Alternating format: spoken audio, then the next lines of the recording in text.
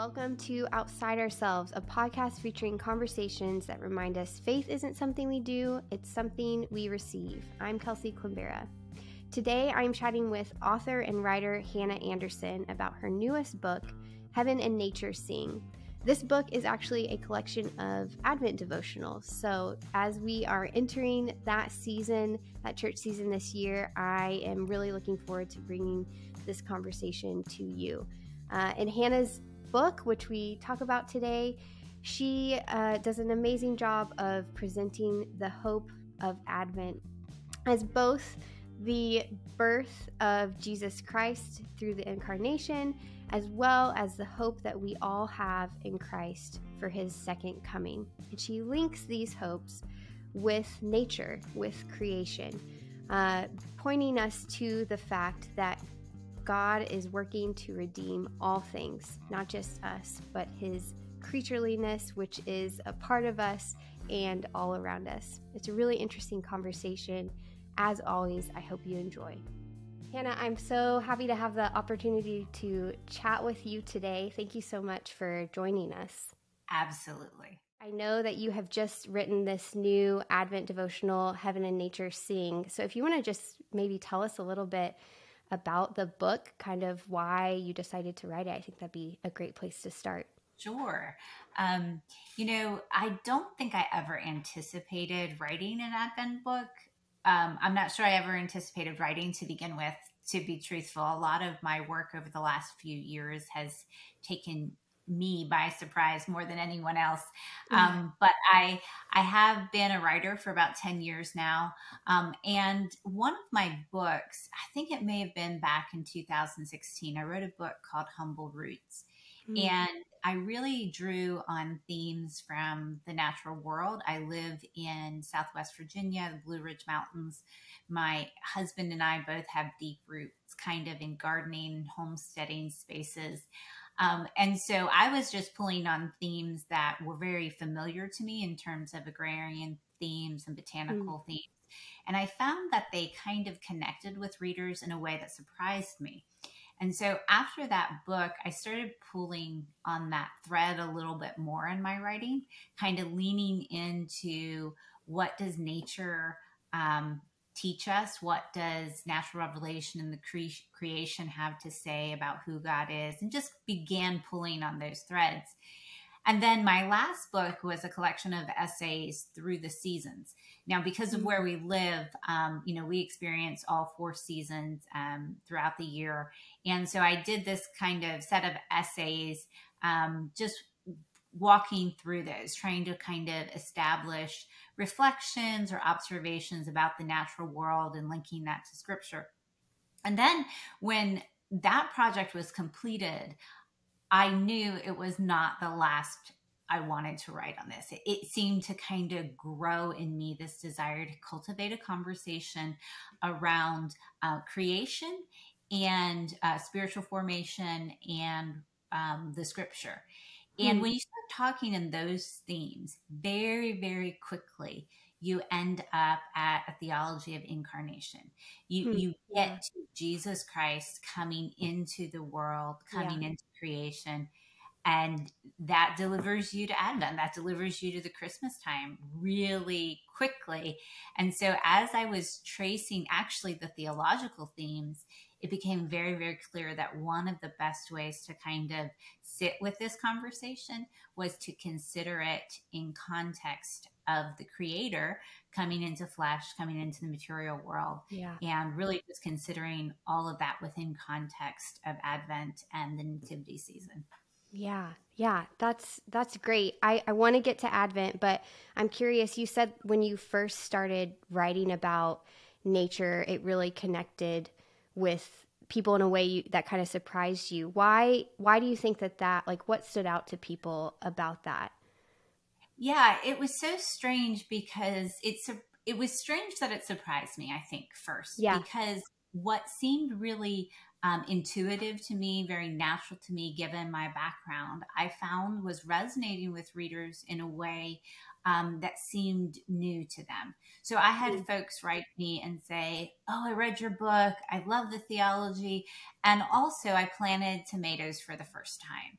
Or hmm. someone else wrote and said, I bought an apple tree and I planted it because I read in your book that you all had planted heirloom apple trees.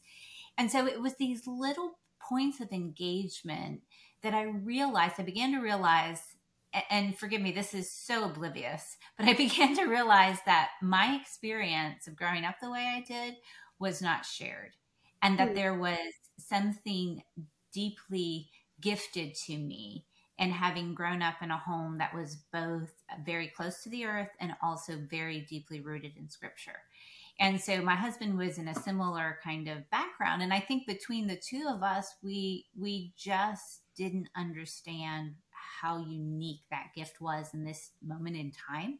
Yeah. Um, particularly over the last 10 or 15 years as the digital age has just exploded, as we spend more and more time detached from the earth, um, detached from its rhythms and cycles. And so much of our life is happening, you know, on screens or inside buildings. And so, what I think people were longing for, if I can sum it up, is they were longing for an access point back to creation.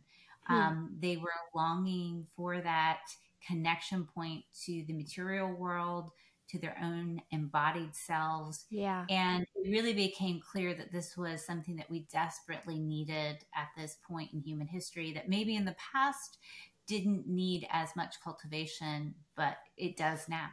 Yeah. Yeah. We need more reminders of it probably now mm-hmm. than we've had had in the past. Right. Yeah, that that makes sense. Um you and you know in in your devotional I feel like something I picked up on you saying is is that nature doesn't necessarily um, point us to the beauty of God's creation. That's one thing it can do, but that it it points out to us our need for God.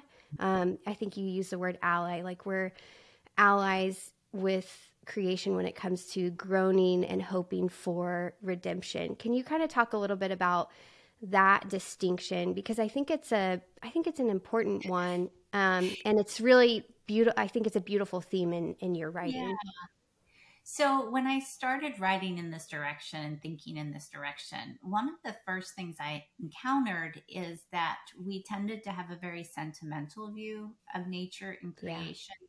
So there was a, a responsiveness I found among readers to to hear more about the creation, but when I would go look for resources or I would engage people in conversation, it had this kind of sheen of um, almost sentimentality and saw creation as um, a place of escape and comfort, which it is. Mm. But having grown up the way I did, I also knew that nature um, had a brutal side to it. It had a yeah. brokenness to it that I think you don't necessarily encounter until you've actually spent time in creation or you've tried to yeah. put a garden in and you plant that tomato plant and then you learn about fungus and worms and drought and you begin yeah. to realize that nature isn't quite as domesticated as our instagram um, feeds maybe show us yeah so i i felt like there was this um, simultaneous need to help people remember what Paul writes in Romans 8 that the creation is groaning and longing. Um, it is longing for redemption as much as we are, that is longing for the sons of God to be revealed. And even if we, um, you know, consider passages in Genesis 3 that kind of talk about the curse descending on the earth. Nature is among the things mentioned that comes yeah. under this curse. Um, right. You know, the ground is going to bring forth thorns and and weeds and thistles and so one of the the things with this book that i hope to kind of present to people is the thought that we're all the entire cosmos is longing for mm. their creator king. Um, yeah. We feel it, we know that longing, but we have this ally um, to bring forward the language of the book in creation that's mm. also mm. longing and hoping uh, for redemption that comes through Christ.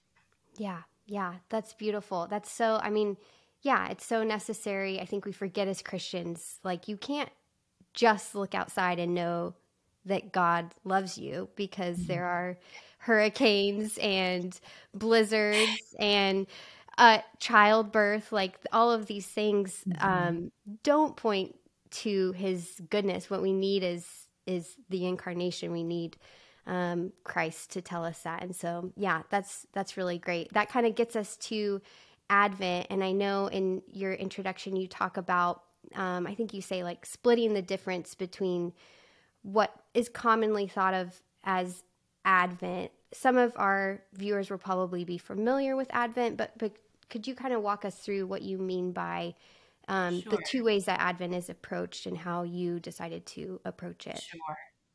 So, um, you know, just confession up front, I didn't grow up with Advent beyond viewing it as a way to count down the days before Christmas.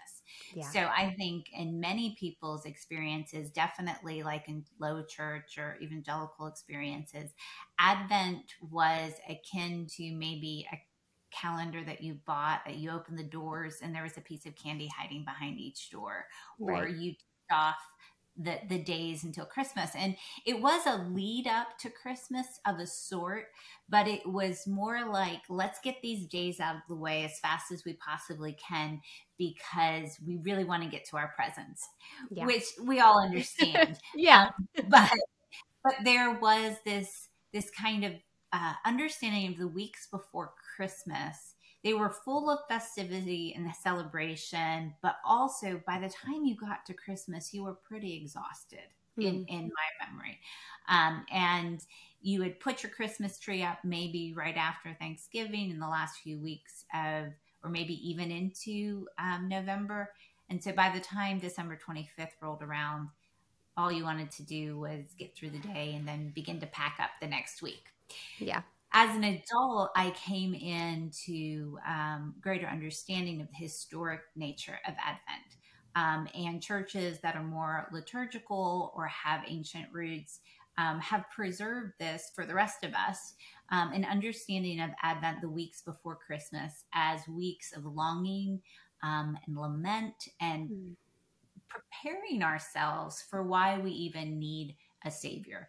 And, and historically, these weeks would focus as much on the second coming of Christ um, as the first that we celebrate Right. at Christmas time. Yeah. And I think another thing that kind of surprised me as I was learning uh, as an adult is that this opens the Christian calendar year rather Mm. than closing it. Closing it. and in our modern civil calendar, by the time we get to December, we're thinking about shutting things down. Um, so Advent actually gives us an opportunity to begin our year with Christ, to begin uh, a way of longing and reflecting and thinking about why we even needed the Savior to come into creation in the first place. Yeah, that's great. As you um as you were writing this and and and finished it, are there specific themes that jumped out at you that you weren't expecting? Um, did anything kind of surprise you as you were writing the devotional that you didn't think was there? Yeah. Well, I think when all was said and done, the thing that um, I found the most compelling was to view Advent as an invitation um, into grace and away from performance rather than an obligation. Hmm. And that felt very freeing because for folks who maybe haven't grown up with the church calendar and want to adopt some of these practices, who see the value of it, who understand um, the importance of rhythms and cycles, it can sometimes feel like, okay, here's something I need to do. Here's Yeah. something that if I add it to my life and I tick it off my list and I learn how to do it, I will be better, my family will be better, my children will be better. And in this weird way, um, what is supposed to be an invitation to limits and to a confession of our need becomes um, an act of performance. Hmm. And so, as I was uh, working through writing this, as I was sitting with it myself, I realized how much creation was waiting in hope, not trying to perform for its creator. And mm. that was such an invitation to us as creatures within the creation um, to wait in that same hope and be willing to maybe um, set aside the impulse to perform during the holiday season. And I think what's curious about the holiday season, at least the way we celebrate it um, in the modern West, it has become a way of projecting our joy, projecting our perfection. Mm projecting our ability to keep it all together and have these really picturesque experiences. And that runs counter um, to the invitation of Advent. So um, I felt this relief, I think, in learning that this was an invitation and permission to live in my humanity and live in my need of grace uh, rather than an obligation to perform some kind of uh, religious duty or religious practice. Yeah, that's so great. I think that that's a comfort I found um, in the in the church calendar and even in liturgy in general of the this idea that it's a rhythm, not because um, not because we have to do anything, but it's a rhythm to remind us and bring us back to the comforts of Christ over and over again. Um, and I think nature obviously does that too, which is so great. Yeah.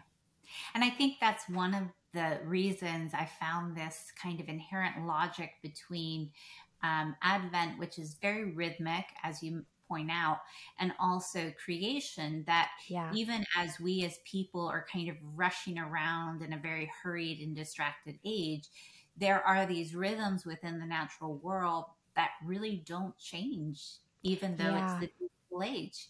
Um, you know, the sun still rises and sets. We still have 24 hours in a day. The earth still rotates. Um, if we live in se- places that have different seasons, they still come and go. And so there's this backdrop within creation of stability, of patience almost, yeah. of um, I, I, like to think that maybe creation is just looking at us with a sense of um, bemusement and maybe boredom at the way we run around as human beings. And yet those cycles just remain really steady um, despite all the other changes that are happening within human history. Yeah. I think there's a reason why um, that we're described as trees needing to bear fruit um, because we we always take that metaphor and run with it thinking like okay i've got to bear fruit i've got to bear fruit when in actuality like a tree needs a gardener and a tree has to be made good in order to bear good fruit. Um, the gardener is the one doing all the work not the tree itself. So it's funny because we still are are of course capable of turning that and twisting that into something we have to do and yet God, through His Word, is constantly using nature um, mm-hmm. to, to point us back to our reliance on Him. You say the miracle of the incarnation is that the timeless Son entered time. And that really struck me because, you know, the incarnation we typically think of in physical terms, not necessarily temporal. Can you talk a little bit about um, this difference and specifically what the incarnation means for time and our experience of time. Well, I think, again, as you mentioned, we, we tend to think of the incarnation in the material realm of um, Jesus took on a body, so he honored our bodies and we should embrace their limits. We can live within the material realm. We don't have to transcend it somehow or, um, you know, seek this higher life. We, we, hmm live out our days faithfully within the boundaries of our creatureliness. And we learn that from the incarnation. But I think one of the things that is tangential to that and one that we don't give as much attention to is um, that we are creatures of time and that Jesus himself, when he became human, became a creature of time. There was um, a limit on his days on this earth. He was fixed within generational realities. I think when I was writing, that was one of the things that really struck me very early on in the writing was these genealogies that we have of Jesus. And there's lots of reasons that those are in the scripture. But the thing that struck me was that Jesus was a link or he was coming from generations of people that had lived their days out on the earth and then died hmm. and then handed off the stewardship of what they knew to the next generation. Yeah. And I think for us within this moment um, in time and in this culture, we don't have a strong sense of ourselves, generally speaking, as being links within generations. Um, hmm. Of what we've received. We tend to think of ourselves as kind of self created, that we just kind of came yeah. on the scene. Um, but because we don't have a sense of our place in time, both in the past generationally we don't always think of ourselves in the future we don't think of what mm. we're passing along to generations yet to come and so so this idea of being creatures bound by time and jesus coming into time i think it, it's a particularly important within Advent because what we're doing is we're receiving rhythms that have been cultivated over the generations, and and hopefully we're stewarding those rhythms that we can then pass forward to those who will come after us, who will also carry them on, realizing that our part in this large process is is very limited. Mm, you know, we yeah. may have 70, 80, 90 years on this earth if we're lucky.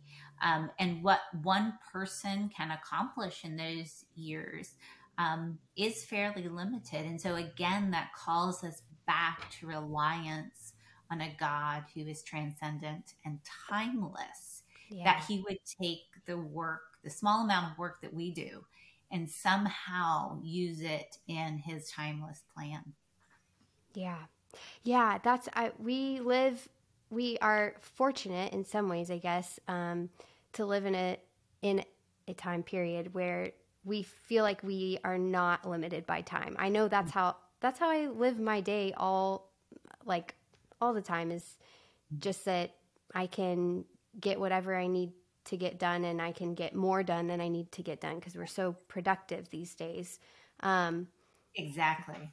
Yeah, so that's that is a good reminder and the tr- the reality is even though we live that way we are obviously still constrained mm-hmm. by time and yeah. and it's a and it becomes a burden because i think we can i don't know it's almost like we think we can outwit or outwork time that's how yeah, at least personally yeah we can outsmart it um and to be reminded no that's part of like fall mm. our our limitations and our fallen nature too is that that is a very very real constraint we're not we are not going to get out of um, is helpful especially during during this season for sure yeah and I, and I think in particular our inability to practice certain spiritual practices or rhythms is deeply connected to our idea of productivity so yeah. these kinds of uh, rhythms are, are slower they slow us down uh, they cause us, they disrupt how much we can get done in a day if we give attention to these kinds of spiritual practices. And they don't necessarily have an immediate objective or an immediate result.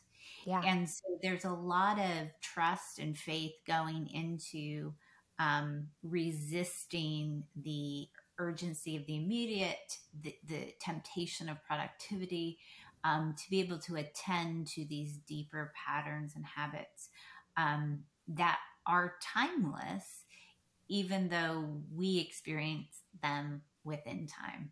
Hmm. Yeah. Yeah, and they're not maybe they're not even meant to be productive in and of themselves. Like mm-hmm. they're not they're not meant to be measured, but that's so outside of how we think. We think we right. can measure right. everything. Yeah yeah, that's. I think that's very comforting and freeing. Um, at least it is. At least it is for me today. Most kids grow up with this idea of longing and hoping for Christmas that is kind of encapsulated in Advent. Um, I I was you know even as I was preparing for today the the phrase the thrill of hope like that to mm-hmm. me is kind of what Christmas is, is this hopefulness that's thrilling.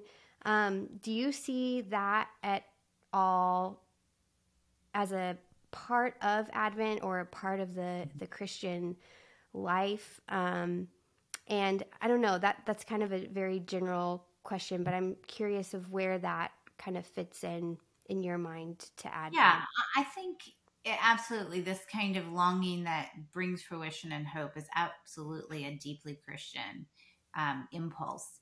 And I think it's present in our holiday, you know, kind of celebrations, regardless of whether we identify it within Advent or not. Um, I think the one challenge to us is whether that hope um, has a resolution in in the coming of the savior as a baby and then we're like oh good he came i don't need to hope anymore mm. so so one of the things i've noticed that advent does is it points our attention to the coming of christ as a baby right mm-hmm. it kind of resolves yeah. in christmas but because it is also attending to the second coming of christ it is simultaneously layering our need that we still exist in.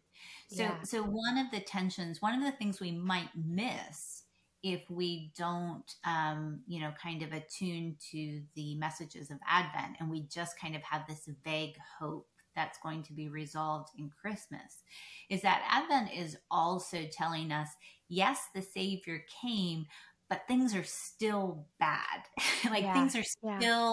a struggle um, there's still brokenness in the world. So how do we attune an answer for that?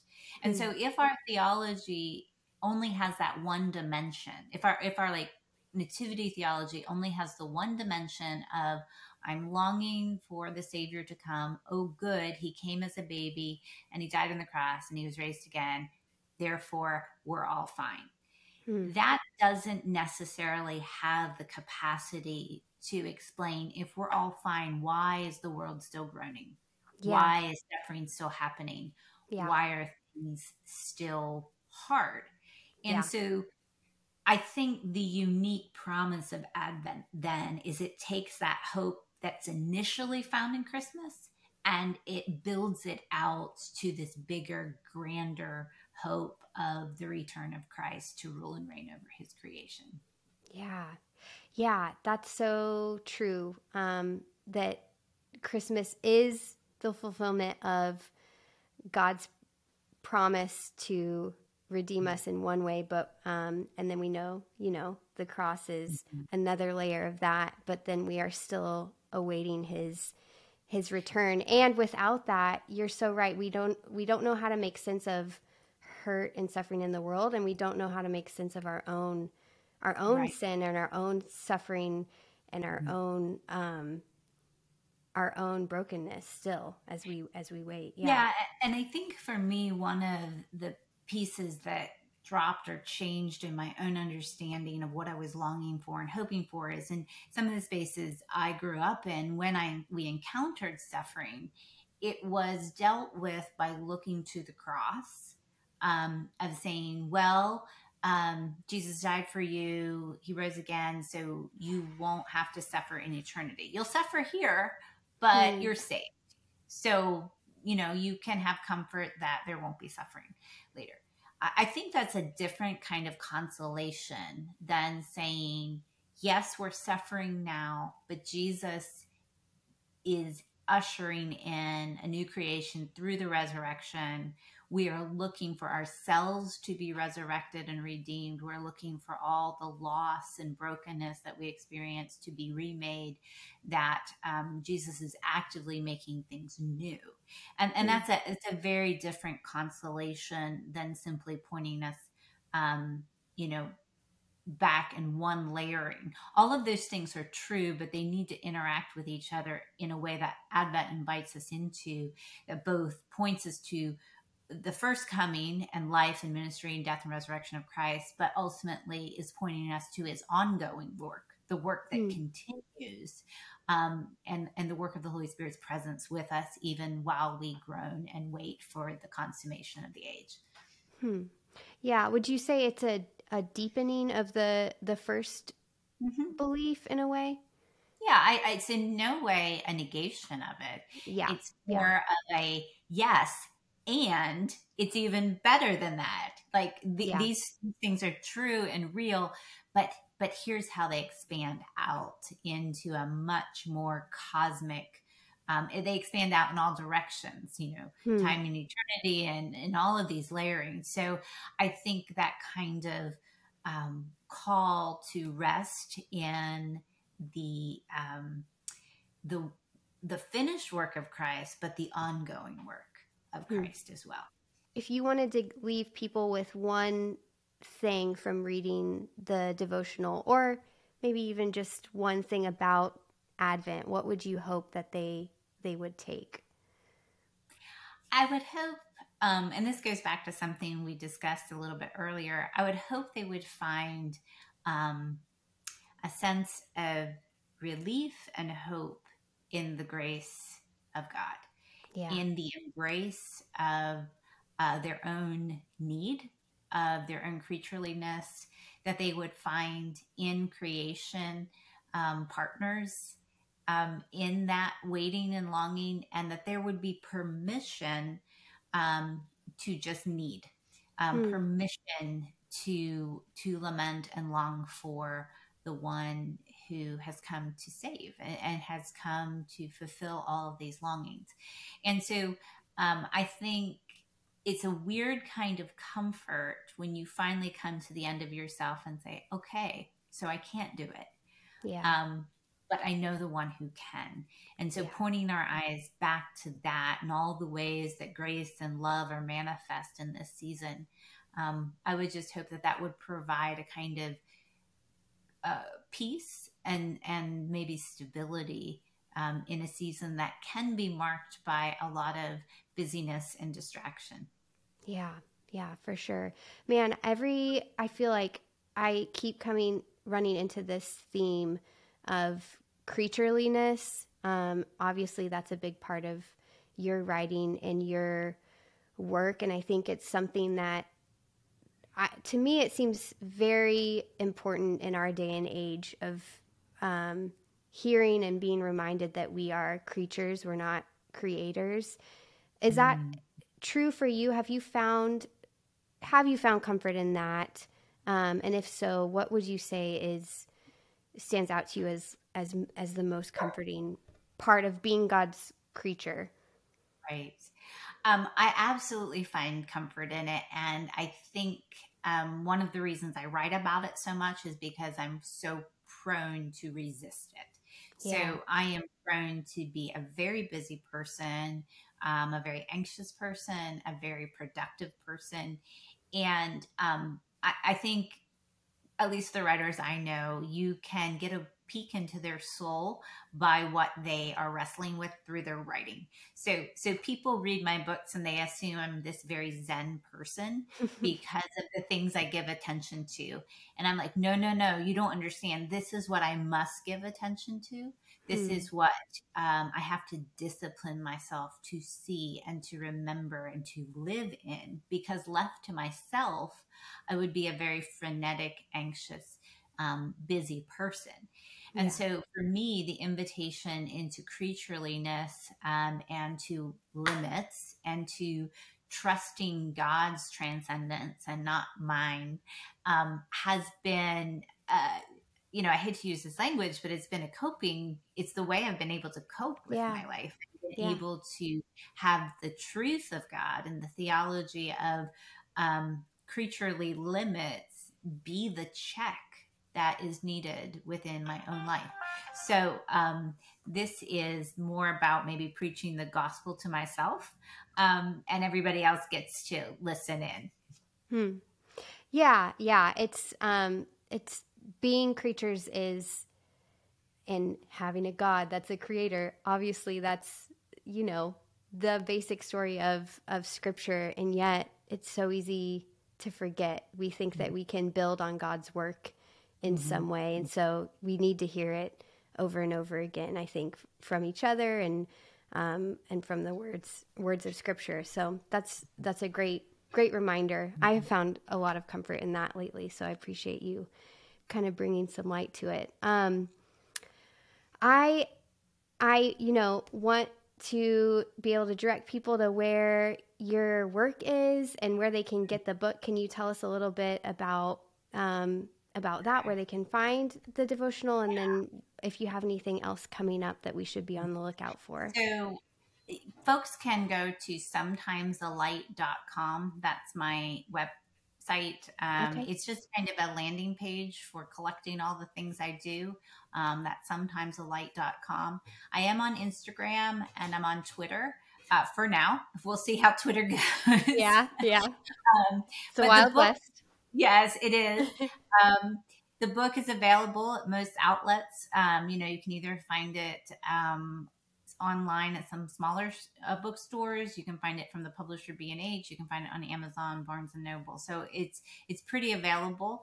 Um, the if folks come to my site, we, we, are selling some there as well with some artwork. My husband did the artwork um, yeah. in the book. So it's beautiful. We, we've created some note cards um, and some things that go along with it. So those things are on um, the site. And yeah, I think as far as things that are coming down the the pike for us, um, we're really just going to lean into this conversation about nature. It's become something that we feel like God has really brought to me as a writer and also my husband as an artist. He's been able to collaborate with me on these last few books. And we even have um, next spring, we have a children's book coming out that's based on Psalm 104. So oh. we just really feel like God is opening up this lane for us to kind of begin to help people focus attention in that direction. That's awesome. Well, thank you so much, Hannah. Thank you. Outside Ourselves is a 1517 podcast. To learn more about all of our podcasts, go to 1517.org forward slash podcasts. We have a ton of resources coming out this Advent and Christmas season, so make sure that you stay up to date with what we are creating at 1517. You can subscribe to our newsletter to get that information or follow us on social media as well. Thanks as always. We will be back here in a couple weeks with our next show.